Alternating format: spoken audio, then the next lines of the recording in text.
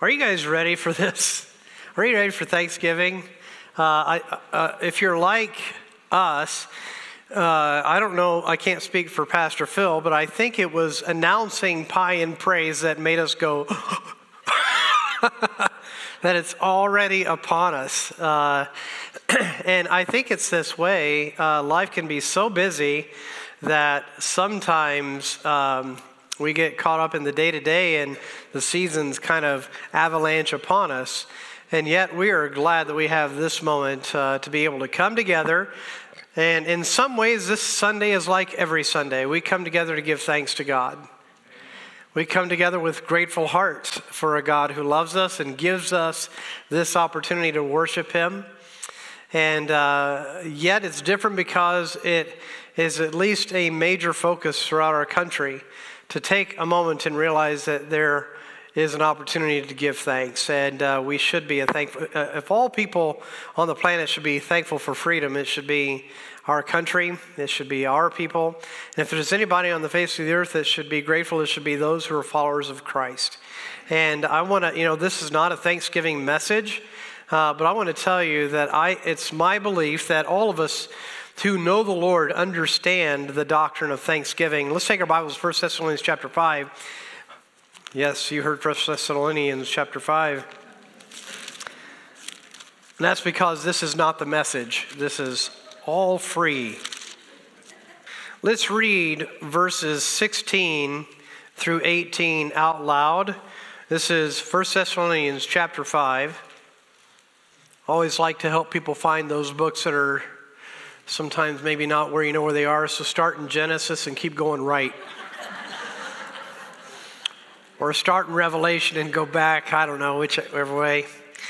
Some of you have this passage memorized. You know these verses, but let's read them together as a church family as a way of giving thanks to the Lord. Let's worship the Lord in this reading out loud together. Would you join me? Rejoice evermore, pray without ceasing, in everything give thanks for this is the will of God in Christ Jesus concerning you. Does it help you? Does it help you to take a moment and recognize that God tells us to rejoice evermore? Do you have reasons to rejoice today? Do you?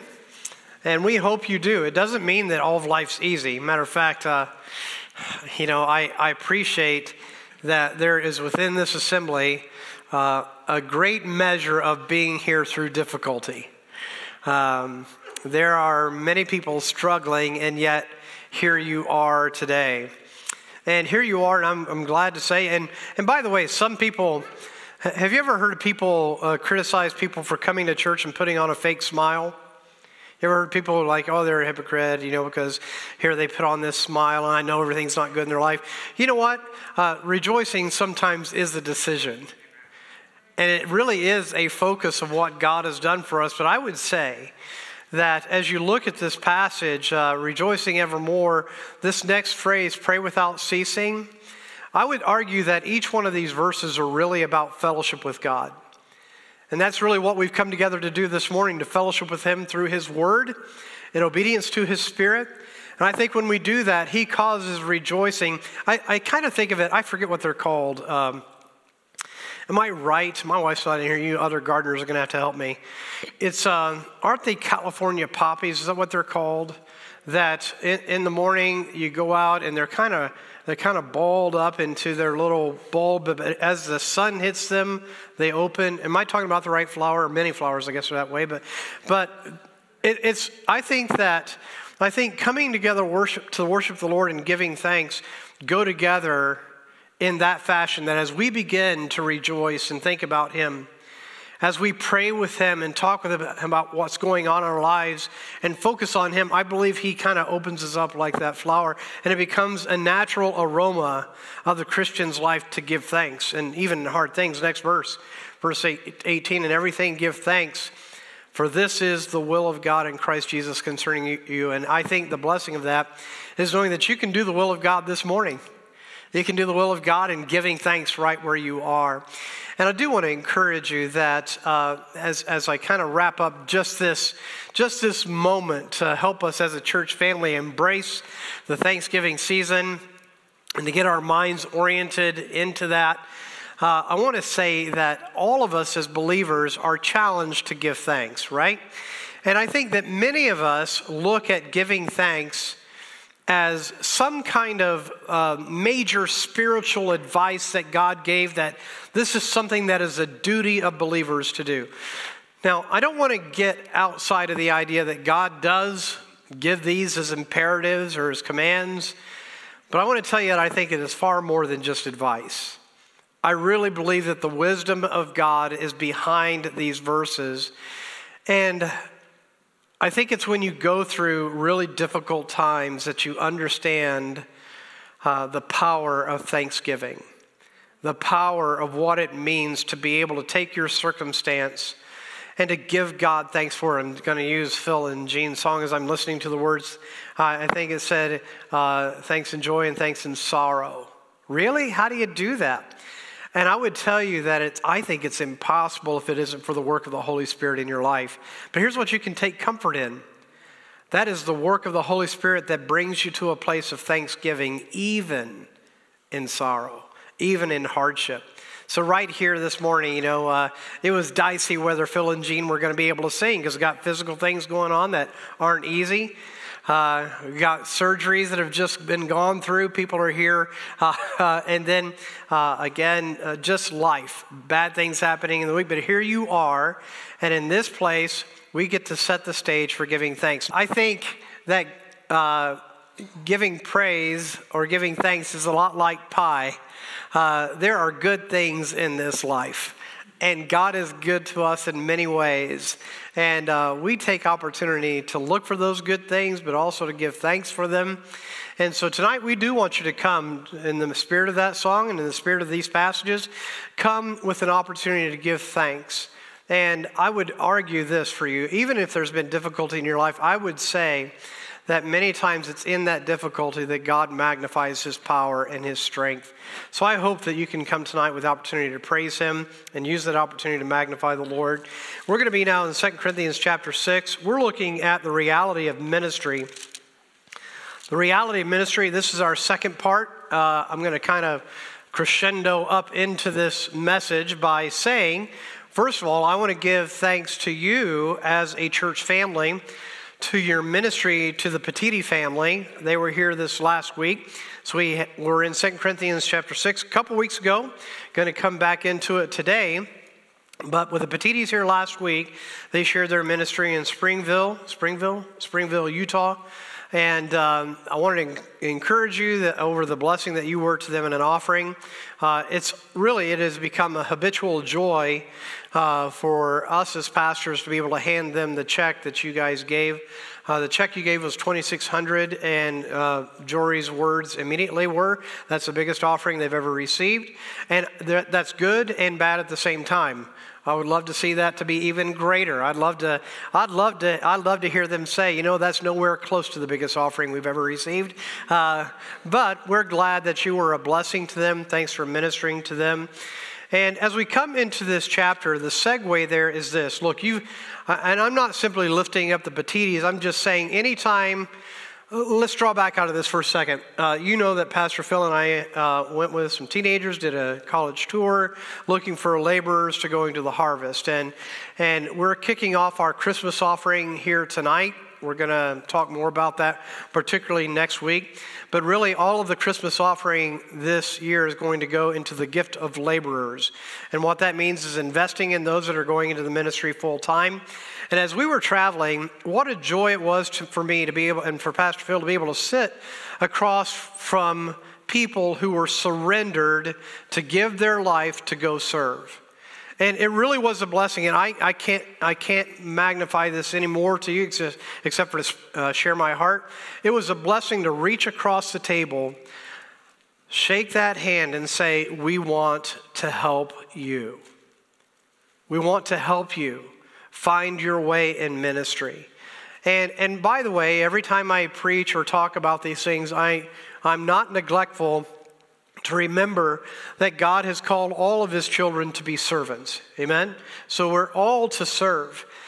We also recognize that in this world today, there is a declining uh, number of those going into full time ministry, ministry to serve either as missionaries or pastors or sometimes teachers in Bible institutes and colleges to help train and do the ministry.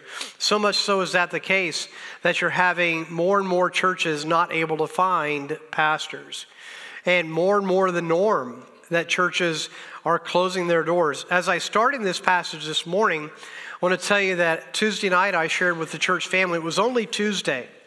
It was only Tuesday. And in that time, I had already talked to two pastors that were struggling in their ministries. Um, and when they talked to me about what was going on, uh, would you like to know what the common theme was? Here's the common theme fighting within the church and the pettiness of power struggles within the church. And the fruit of that is, I, I, I'm not kidding. The fruit of that is that these pastors, you know what? You know what's going to happen to these guys? They may feel an overwhelming sense, and here's the phrase, that it's time to move on. And some of these churches looking at closing their doors and not existing any further. And, and, and what I'm saying is look, we need faithful people of God to stand on the Word of God. And that's not just pastors, it's the people, right? I can guarantee you, if you were to ask both of these pastors that I spoke to, all they would want is for their people and their body to do the right thing. So a pastor can do the wrong thing as well. It's a partnership of a body joined together for the cause of Christ, out of love for Christ, to do the work of Christ. That's what we're called to do. Now, all that is an introduction into 2 Corinthians chapter 6. All right. Here we are in um, 2 Corinthians chapter 6. And as we look at this, we picked up, we are going to pick up in verse 3, just as a reflection over where we've been. Commentaries uh, talk about these chapter or these verses being nine sets of nine. Uh, things that uh, were the trials or what paul deals with at the beginning of uh, at the beginning of this chapter. Verse 3 giving no offense in anything the reality of the ministerial life my life matters in the world around me because the world is looking at my life and the message I carry. And his point is I want to be careful in my life not to do anything that's going to take away from the message that God has given. That message that we just looked at in 2 Corinthians 4 and 5 is the message of reconciliation. So, giving no offense in anything, that the ministry be not blamed, but in all things approving ourselves as the ministers of God, in these things in much patience. Now, the idea of patience again, being able to endure all of these things. So, is the ministry easy? Well, listen to the descriptives that he gives here in afflictions, in necessities, in distresses, in stripes, in imprisonments, in tumults, in labors, in watchings, and in fastings. Now, I've already preached through each one of these things, and not to come back and do them again. But in each one of these things, we would all identify those as trials and hardships.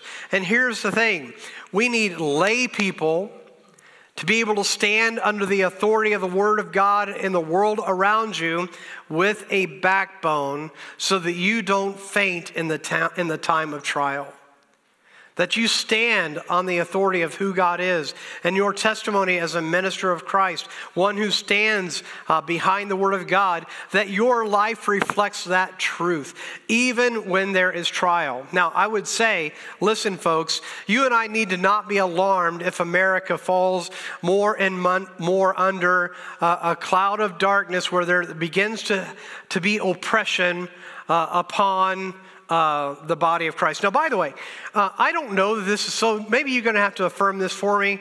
Uh, people have said this. I just don't know if it's true. Uh, I understand that uh, people have been putting posts on Facebook that have verses that have God's name in it, and then they get blocked. Is that true? At least according to some of you, it's true. Uh, does it surprise you? Does it anger you? Well, be angry and sin not, okay?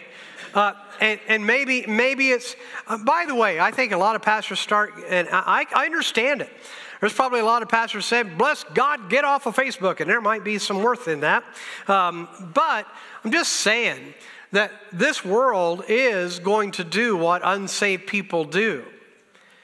And, and what happens instead of Christians throwing a tantrum, we need to stand in our relationship with Christ and look like Him, even when there's trial. And by the way, I'm not saying that, that it's a good thing that uh, Facebook is doing that, but I, I somewhat think that that doesn't fall to the measure of what we just read.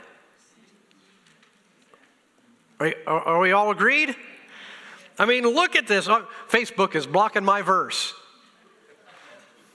I, I get it. I don't like it. I'm not saying it's a good thing. But here you have in all these things in afflictions, necessities, distresses, stripes, imprisonment, tumults, labors, watchings, fastings. Maybe God will do in this country for his glory what needs to be done and allowing darkness to come harder upon this country that the light might shine. I don't know what God's going to do there.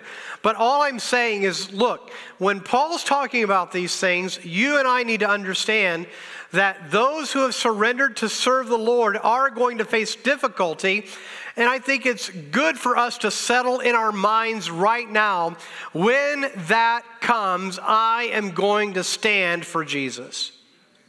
Make a decision now. Make a decision in your character and in your walk with Christ that you're not going to let the ministry be hindered even if you go through a hard thing. Do you realize that God may put you in prison so you can speak about Jesus? Do you realize that your home is not the most important thing that you have on this planet and that God may move you so you can speak about Jesus to someone that needs to hear about him from you? Do you know that God may allow great and what we might think is cataclysmic things happening to our life to take us from one place to put us in another so that He would use us to speak Jesus to someone that needs to hear about Him through this vessel He has made? So it isn't about comfort, it isn't about ease.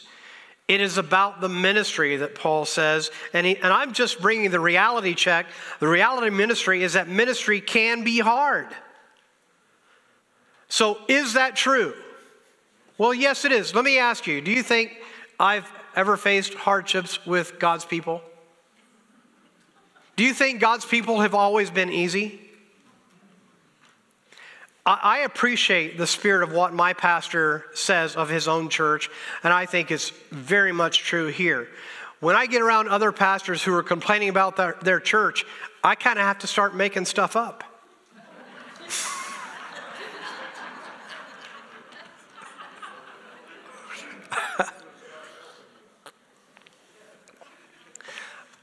we are blessed Pastor Phil and I will say, and we haven't written a card to say to the church, but Pastor's Appreciation just happened. Thanks, thanks for allowing us to minister with you. Uh, and I'm going to just say here, while the ministry does express all these things that Paul has said, I have not gone through the things that Paul's talking about in large degree.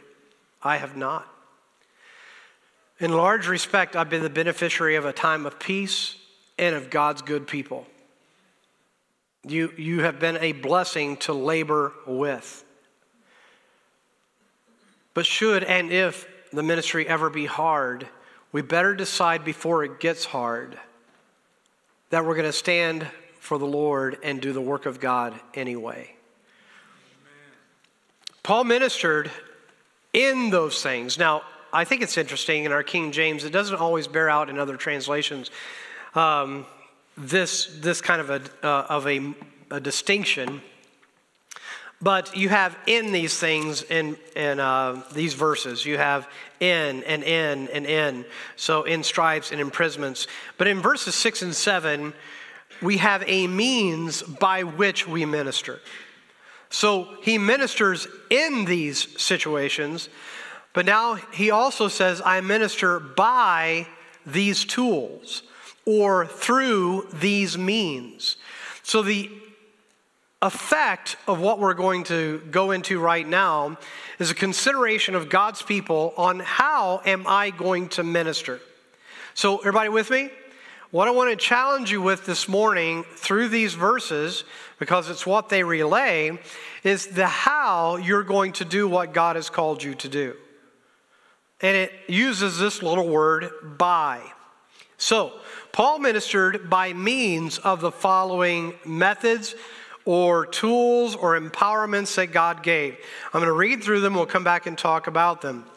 He says, by pureness, by knowledge, by long suffering, by kindness, by the Holy Ghost, by love unfeigned, by the word of truth, by the power of God, by the armor of righteousness on the right hand and on the left, by honor and dishonor, by evil report and good report, as deceivers and yet true. Now, as we break down, how do I serve? I hope this morning that you will take some notes.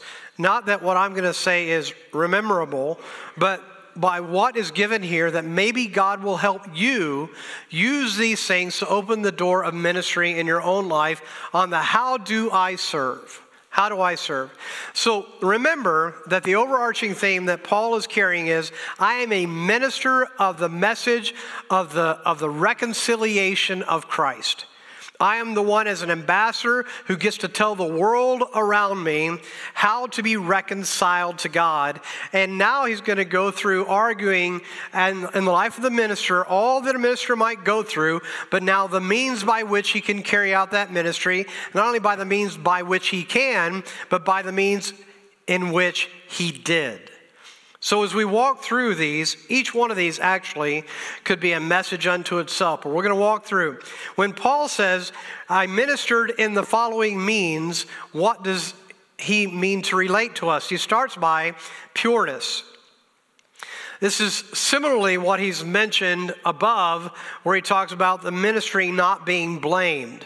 By living a life of purity around him and purity simply meaning by cleanliness, uh, by cleanliness of life, by a blameless life. He's lived a life of purity. I want to come back and say to you folks again, whether we like to uh, acknowledge this or not, one of the greatest hindrances to ministry is an impure Christian life. When you are not walking with God, you are not going to serve Him. When you're not walking with Him, in a way that loves Him, you're going to have great difficulty ever caring about the work of God. So he says, I have to be real about my walk with God. And because I love Him, it affects the way in which I approach this life. And for the believer, that means that we actually care about purity. We care about who we're representing. We care about the, the one that we're telling the world about. And as we're telling the world about him, there should naturally be a purity to the life of the believer. Now, I've got a question for you. Is there an amen on that? I'm asking because I'm telling you that much of Christianity, I think, today divorces itself from this idea. It's no big deal. But Paul is arguing over the life of the minister, and he's saying, Look, my life does need to reflect the purity of God. And the purity of God, by nature, doesn't look like the world around us. Is that true? Now, we don't separate ourselves from the world by not looking like the world just because we're trying to put on a standard. That is not the point. The point is, you love Jesus, and by loving Jesus, He changes the way that you approach the world around you, and this is what it looks like purity.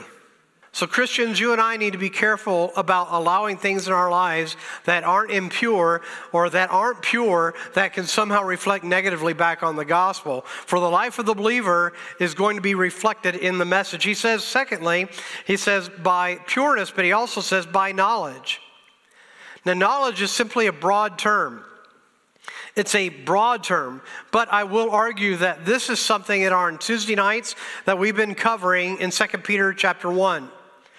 Does God want you to know him? Yes. He wants you to know him as your Savior. Is that all he wants to, you to know?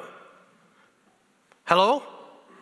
No, he wants you to know his character, his truth, as represented throughout all of Scripture by knowledge. Now, what that means, believer, are you ready? Hello, you and I need to know some things doctrinally. Amen? You and I need to know, listen, families, we can't just simply teach um, truth to our families and not have an interpersonal relationship with them where we're exploring that truth and what it means in real life. Now, I'm going to tell you something about what I've experienced in my own family. Uh, now, I'm going to ask you do you think I've tried to raise my kids to love the Lord? You'd be right. Have we been perfect? Careful how you answer that. No, we have not been perfect, but there's something that happens with every one of our kids that we do not alarm ourselves by, but we know it's there. Every time get, uh, one of our young people gets to be that 17, 18, 19, 20, right in that time frame, guess what they're doing?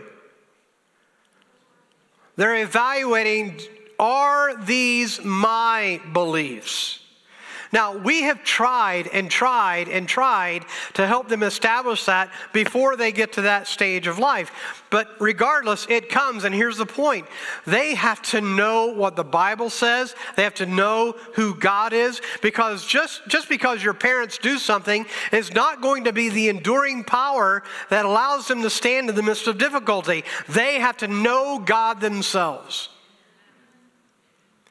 And here's what we can say, not just in the, in the world of children growing up to be adults, but we can say it in the world of adults. I'm telling you that there are many people who have a lack of knowledge of God in a way that it, it, it's not friendly to say, but it, in a way that is shameful.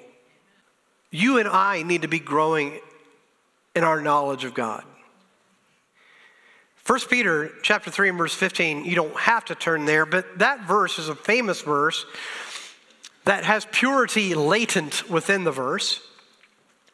It says, But sanctify the Lord God, if you remember the phrase, in your hearts, and be ready always to give an answer to every man that asks you a reason of the hope that is in you with, remember how it says it? With meekness and fear. The idea is that we can give a reason for why we do what we do, why we believe what we believe. And, and, and Matt, listen, listen, I, I know I've said this in, in years past. this is crazy to me, okay? But I had a believer that was in this church uh, for some years and then left the church and then went to a charismatic church and came back to this church. And here was their statement I don't know why we've got to be so concerned about doctrine. And I, I, hear that, I'm like, what planet are you living on if you're saying you're a believer in Christ? And no wonder that the ministry that they're in is all about emotions and feeling. Do you think you can trust your emotions and feelings? I'm telling you what, it's like, it's like nailing doctrinal jello to the wall. It's pathetic. It does no enduring, has no enduring strength or power. It's the doctrine of the Word of God that has power. And listen, I, I tell our Sunday school class, I say it often, I am I know that you have an expectation, and, and regardless of your expectation, which I agree with, I want to know God and know Him well. But I am not a walking Bible encyclopedia. I'm glad for the resources and tools that I have. I'm sad over the weakness of mind that can't remember things the way I used to. And I'm even more sad that I learn things that I, at some point I learned something and I'm like, oh, I used to know that. My point is, we all need to be students of the Word of God. We all need to be growing in our knowledge because it is our knowledge of God that we're carrying to the world around us. So, you want to know how to minister? Live a pure life that reflects your relationship with Christ. Know Him and grow in your knowledge of Him. Don't be satisfied that you are where you are. Keep growing. And if you want to know how to grow, disciple somebody. Amen? Amen.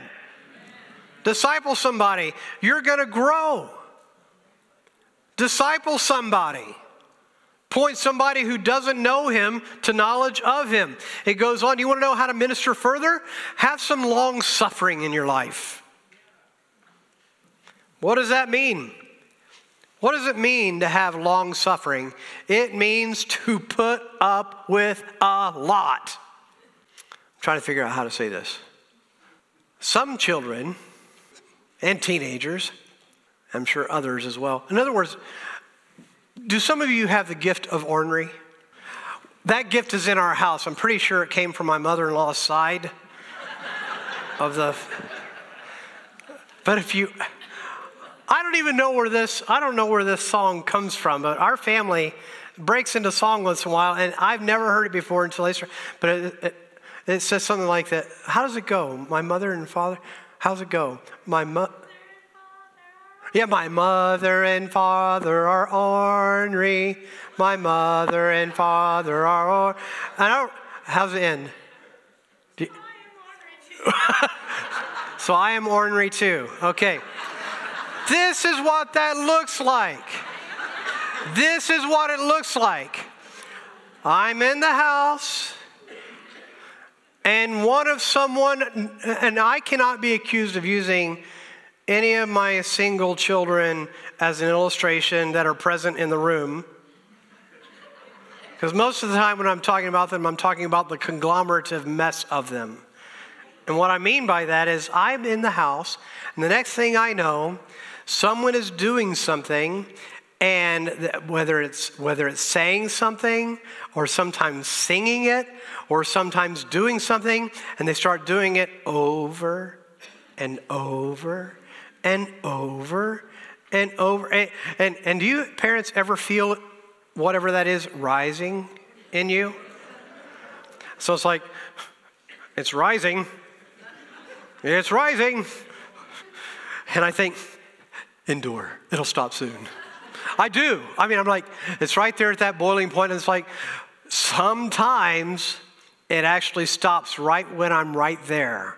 And I'm like, Other times, I go into dad mode, and very graciously I say, Stop it! And it's usually at that moment that I realize it was a ploy all along because they stop and they go, hey, hey, hey. right?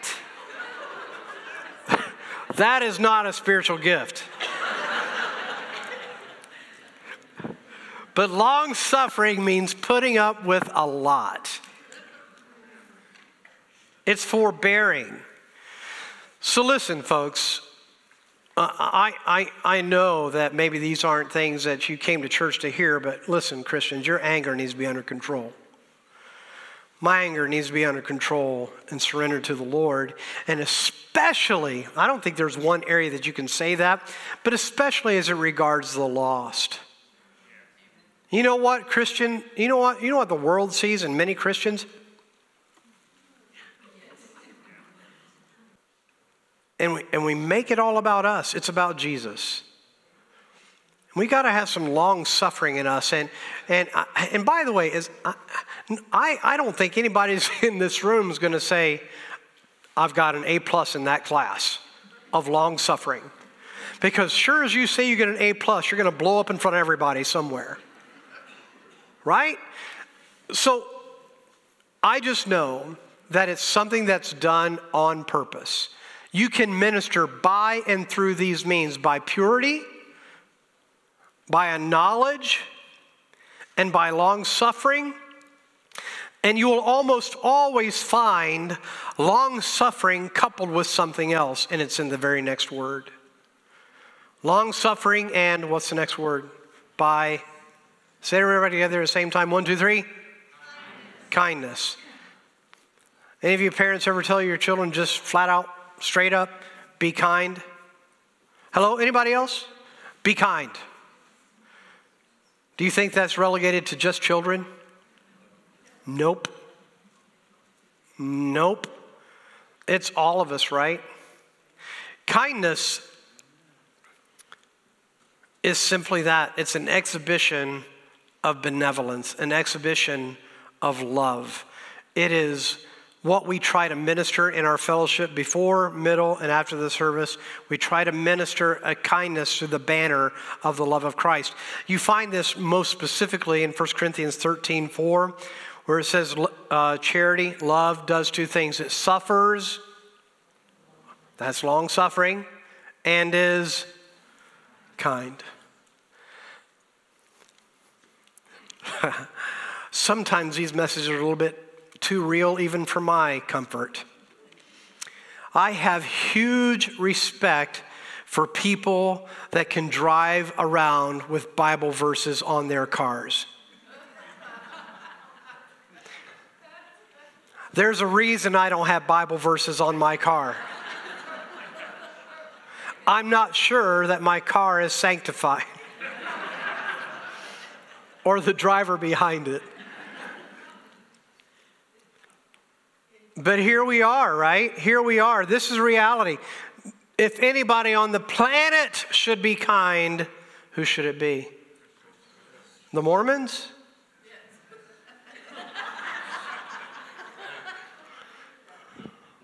I'll tell you what, there's a lot of Christians embarrassed by Mormons. Now, I'm going to tell you that Mormons do it for a wholly different reason. But the reason you and I have to be kind is greater. We're the beneficiaries of God's kindness, and we demonstrate God's kindness to the world around us so that we can let them know of the kindness of our Savior. There should be no better neighbor on the planet. There should be no better coworker on the planet. There should be no one that exhibits kindness more than you. Now, that is one thing to say it. But that, that ministry needs to have its place in our grumpy old men, our grumpy old other people, and our grumpy whoever. Kindness needs to win. Amen? Kindness needs to win. And sometimes we give ourselves far too much latitude to not be this. And I'm, I, I'm, I mean, and I mean it for me too. I believe there's more power in this than we know. And I think we look at lists like this and we say, well, that's a good suggestion, and that's a good suggestion. Well, that's a nice thing. I, I believe it's far more powerful than that. But this will never happen if we don't reconcile these truths to our character because of Christ. It goes on to say, and again, I think uh, so many of these things intermingle, intermingled together by pureness, by, no, by, excuse me, by pureness, by knowledge, by long suffering, by kindness, by the Holy Ghost. Now, because of the emphasis of the Word of God and how that's been applied in this ministry, it's hard for me not just to park on this for the rest of the service. But the Holy Spirit is the one that enables you to minister. Stop looking for someone else to equip you to serve. The Holy Spirit is the best administrator of your service. So, what it means is living life surrendered and sensitive to the Holy Spirit. What that means is as you wake up in your day, you surrender to the Lord and say, I am yours. How do you want to use me? Lord, may I serve you? Show me what to do. And there's a world around you that needs Jesus. So let the Holy Spirit guide you. Let the Holy Spirit be your enabler. Let the Holy Spirit be your director. Let the Holy Spirit be the one that gives you the focus and the direction you need. But when He does, do it. Live in that surrender to the Spirit to serve as God enables you. Now, folks, I want to I say something again. I've been saying this a long time, and I think I'm saying it because I'm, I'm still trying to do this myself. I want to grow in doing this. I want to be a disciple maker. I want to help others know more about Jesus. But all you have to do is, Lord, who do you want me to minister to? Lord, would you give me somebody to disciple? Would you give me somebody that wants to know about you? Maybe you'll give me the opportunity to do a Bible study. Maybe you'll help me start a men's coffee group or a men's a pie group and co- pie and coffee group. Amen. And uh, I, I just felt inspiration.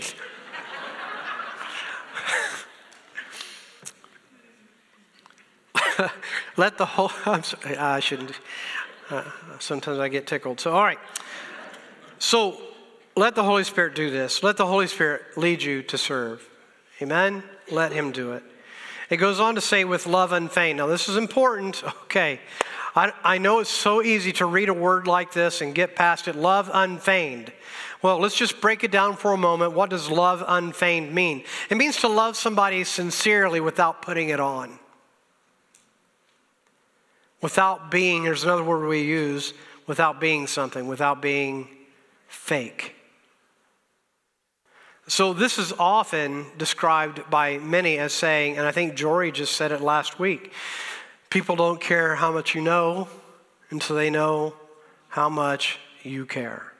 So, you know why I think many times we don't disciple people? Because it takes energy, it takes work, and it takes getting involved in a messy life. It takes time. That's why I think the Lord didn't call you to win the world, He called you to win one by one and one person to disciple may be all that you can handle. After all, aren't you a handful yourself? But as we look at this, this love unfeigned means a love that is transparent, a love that is sincere, a love that is clear and true. You're not doing this to get something out of somebody. You're not doing this to you know, somehow improve yourself. You're just loving somebody. So, does the world need to see the love of God? Yes. And the ambassador that he's given to display that is you. He says, by the word of truth. What is he talking about in the word of truth? What's he talking about? What's the word of truth? It's your Bible. Go back to 2 Corinthians chapter 4. 2 Corinthians chapter 4, when we talk about the word of truth, listen, folks, we want, isn't it true that we all want to be right? Do you want to be right? I hope so. I, I, I haven't gotten my mind around somebody that says, Yeah, I just want to be wrong. I know you think you're married to somebody like that, but you're not. They probably want to be right, and they probably think they are. And this is such a difficult thing. This is such a difficult thing. Because you are faced with people all around you that have different opinions than you. And I often say to people, look, I just think this is where we go. I think many times we look at somebody else's position and we just kind of throw down the line, well, you're wrong we make the declaration, well, you're wrong, and, and we get entrenched in our position. And it's funny how often our entrenchment doesn't look like Jesus when it comes to loving people.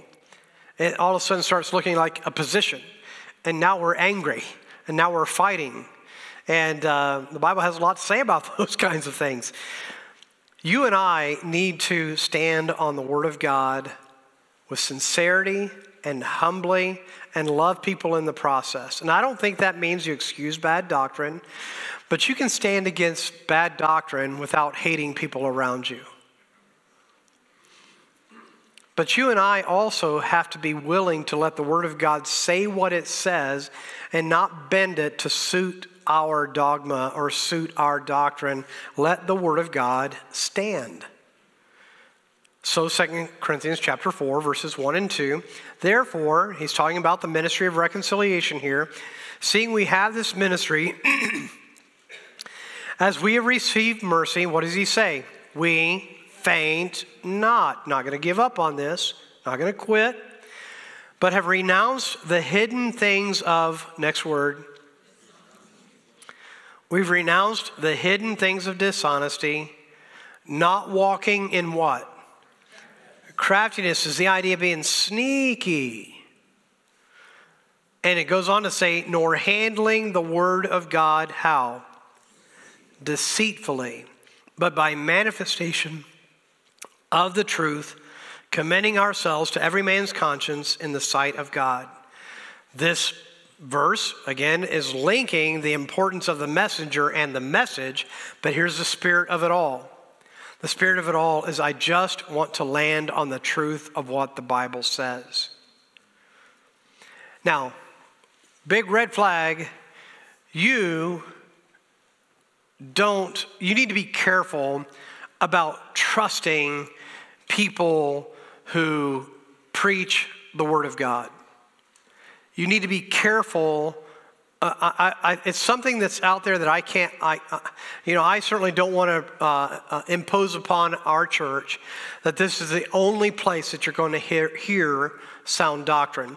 I want this to be a place where you hear sound doctrine, but I am opening the door to say you need to be careful about who you're listening to in the world around you.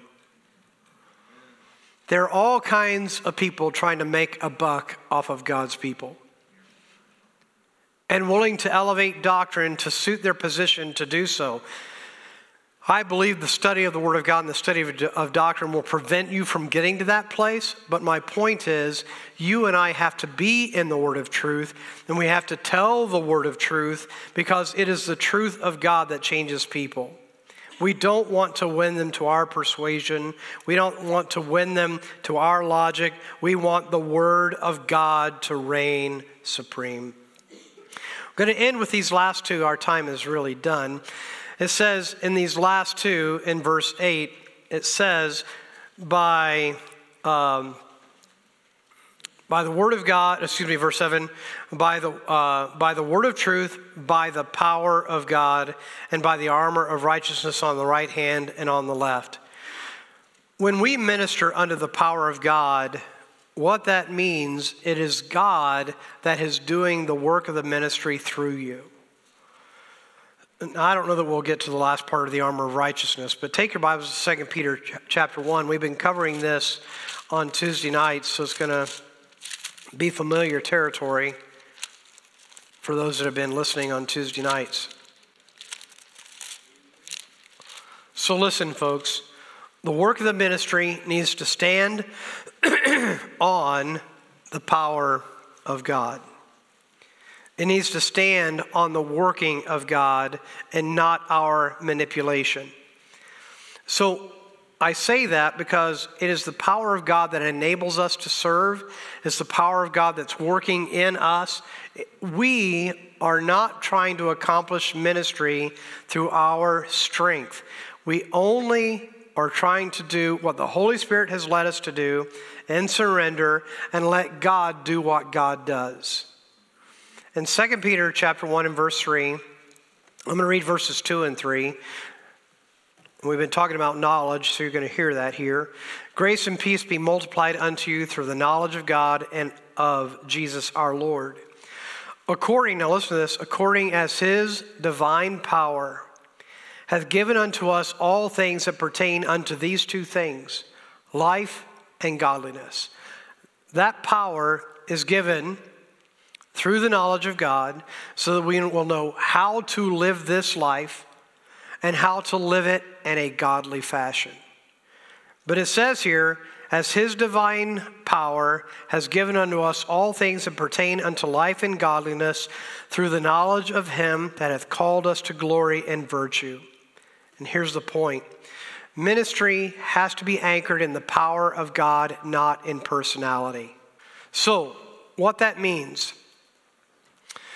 is that this ministry would be a pathetically weak ministry if Jeff Estes was to die and this church didn't stick by the Word of God and do what it's supposed to do.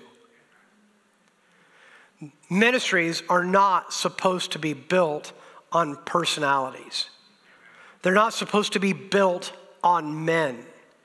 They are to be built on the person of Christ and the Word of God. And it is that power that enables us to serve. Now, here's why I'm going to close with this. Many believers are stuck in a sense of powerlessness to serve, and I'm just trying to take a hammer to that and destroy that idea or that doctrine. God has given you all that you need to serve Him. He has given you all the power you need. He will give you all the direction you need. Now, I'm, I'm going to take a moment here and kind of come back to spirit led ministry. We do believe that God does give administrators to the church, overseers to the church, and they are called pastors. But pastors are to equip God's people to serve God as God directs them to serve. And in that partnership,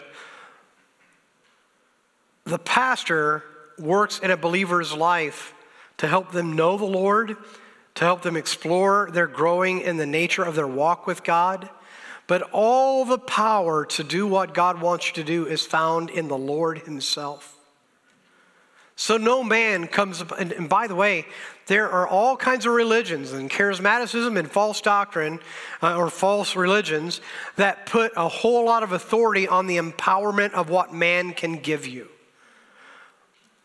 I, I you know, even so much so that people are willing to buy a hanky, a white nose blowing cloth from someone who's a religious figure and think that it's got some kind of power. And all that cloth has power to be is how that pastor used it. It has no power, nothing. And you don't need to compare yourself to somebody else. Well, I'm not. I'm not like them, so therefore I can't be as powerful in my ministry as them. God did not call you to be somebody else, He called you to be a follower of Jesus. And all the power that you have to do ministry is bound in His person. So just walk with God, surrender, live for Him, and know that God absolutely will use you. And you may never have a title on the planet that says you were the director of whatever ministries. You were simply a servant of Christ. Well, back to 2 Corinthians chapter 6. By the word of truth, by the power of God, by the armor of righteousness on the right hand and on the left. As it goes further, it goes into these two different flavors that are happening into the life of the believer. We're going to explore that further, Lord willing, next week. But as we close this message today, I want to I want to come back to this principle. I want to come back simply to this truth. It is God in his grace that has allowed you and has allowed me to be his servants. Can you go back to 2 Corinthians 4 7 just as a, an end of the message? Do you, do you, can you this morning give thanks for an almighty King of kings and Lord of lords, the great, the great King of all that has been created? Can you give thanks this morning that that God who has saved you wants to use you in his ministry. And not only wants to, but can and can do things far beyond what you would ever think if you will just serve him. Yes, the ministry can be hard. Yes, the ministry can face a lot of different difficulties, but these are avenues in which we can accomplish ministry by avenues by which we can magnify Christ. But the question comes to our assembly this morning Lord, how will I be your servant? How will I be your minister? But as we ask that question, there is an invitation back of all 2 Corinthians 4, verse 7. But we have this treasure in what kind of vessels? Earthen vessels that the excellency of the power may be of who? Of God and not of us. I want you to take a moment here and just think about the bigness of God. So, who are you that you should be saved?